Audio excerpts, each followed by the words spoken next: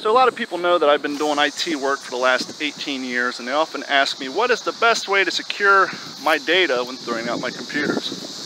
Oftentimes I suggest they get a drill and a quarter inch drill bit or maybe a 16 inch drill bit and drill the shit out of it. But today we're going to try something a little more fun. Today we're going to shoot some hard drives to secure your data. We're going to find out what's the best gun to use and what causes the most damage. If you're going to be in Florida shooting out at a ranch, the best thing to do is to bring some real true to form Florida crackers. So I brought one of the best Florida crackers I know, David. David, what weapon are you going to use to shoot at this first hard drive? 380 LCP2, it's my wife's personal protection. Sweet, here we go.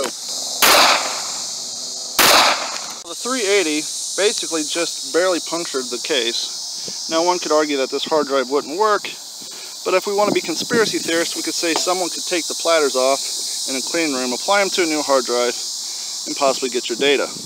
What we're looking for is clear holes all the way through. So let's move on. Clearly that was a fail, so I brought Steven. He's another Florida cracker. Steven, what are you going to use? I'm going to use the uh, 9 millimeter. Um, one of these standard full metal jacket. Pretty much.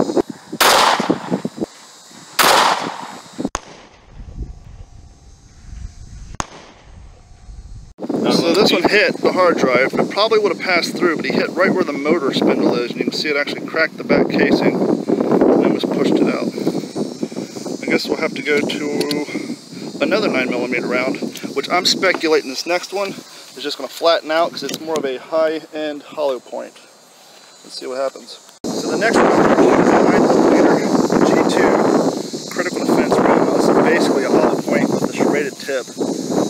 My feeling is this is just going to flatten out. Because that's the whole purpose of a hollow point is once it hits its target, it flattens out and tumbles so it doesn't pass through and hit an innocent bystander. So I really doubt this is going to do much damage to that hard drive, but let's find out.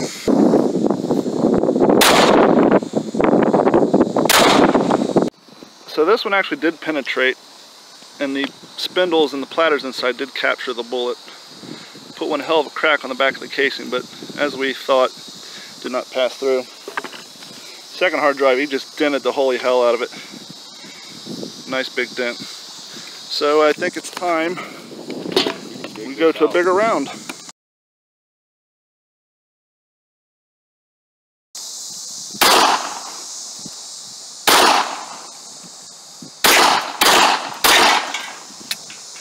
Much as we anticipated, it didn't do much. I think uh, we say the hell with the pistols and go with the rifles? We should go the rifle. Let's go rifles. 243 We're gonna do all of them. We're gonna do all of them. Alright. I got a couple surprises. First rifle, what are you using? Uh, it's a 243. It's a beat up old ranch gun. Sweet, let's see what it does.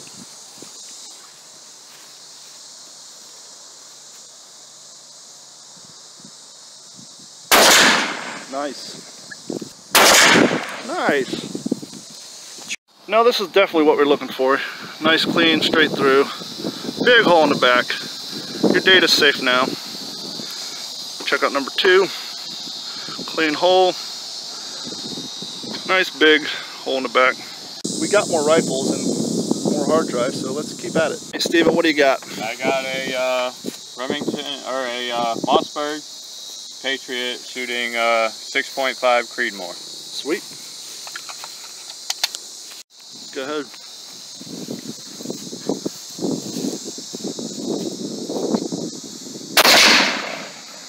Clear through, knocked the entire spindle out. Safe to say those platters are not spinning anymore. That's a great shot.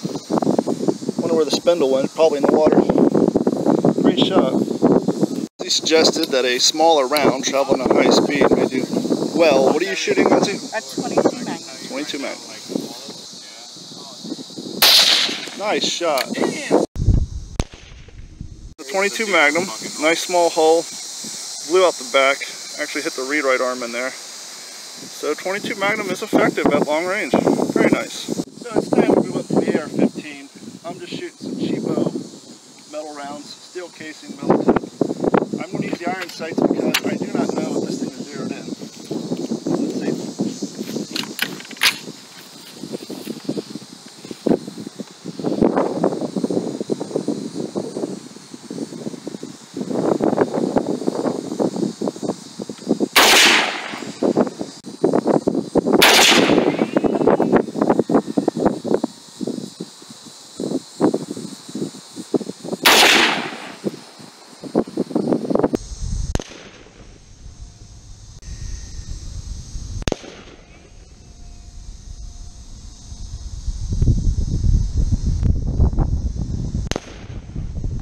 So my first shot with an iron sight.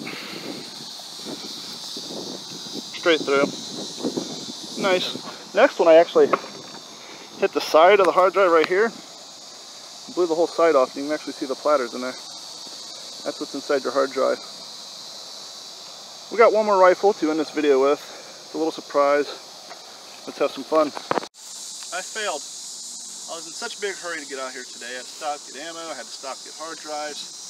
I forgot my en blocs, which means I can't load up all eight rounds, shoot down range, and give you all the ping that you all know and love with the M1.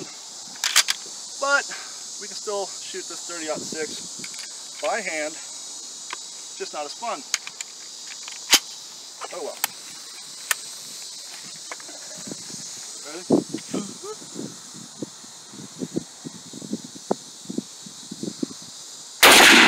God damn. A lot more fun with the en bloc.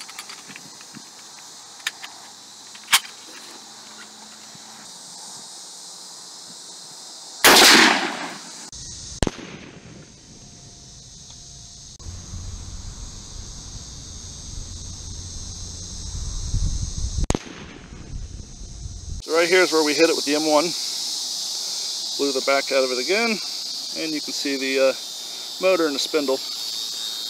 And the second one, which hole? Second hole right here, a little even bigger hole in the back. So that's our video for today on how to secure your data when disposing of hard drives. Sorry I forgot man block, but shit happens. Hope you enjoyed our little video and uh, get to the range. Now we're going to stop recording and just shoot the shit out of everything. So back in uh, World War II, this area of Fort Myers was used for military training and uh, found some old goodies here today. Usually you find some 50, uh, actually some training mortar shells out here, but we haven't been that lucky.